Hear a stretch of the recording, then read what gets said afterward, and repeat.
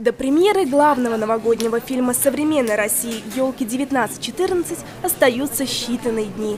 Это уже четвертая часть популярного фильма, который ежегодно выходит в канун Нового года. На предпремьерном показе фильма «Елки-1914» побывала съемочная бригада канала «Питер ТВ», где пообщалась с актерами семейной комедии. Я думаю, что этот фильм действительно отличается от предыдущих э, трех частей. Это абсолютно какой-то, наверное, другой формат. Во-первых, это фильм исторический. А, этот фильм, наверное, можно назвать мультижанровым, потому что здесь э, это не в чистом виде комедия, здесь и есть мелодрама, есть и драма.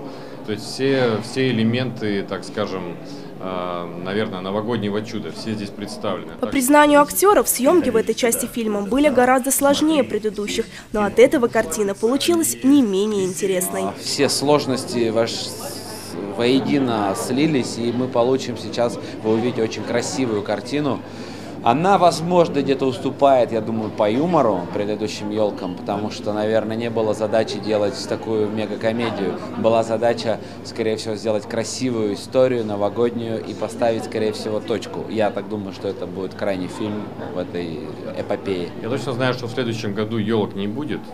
А что будет дальше, но ну, это а, Богу из Казахстана только понятно. Будем надеяться, что Тимур Бекмамбетов услышал посыл Сергея Светлакова, и традиция россиян ходить в новогодние праздники на очередные елки продолжится.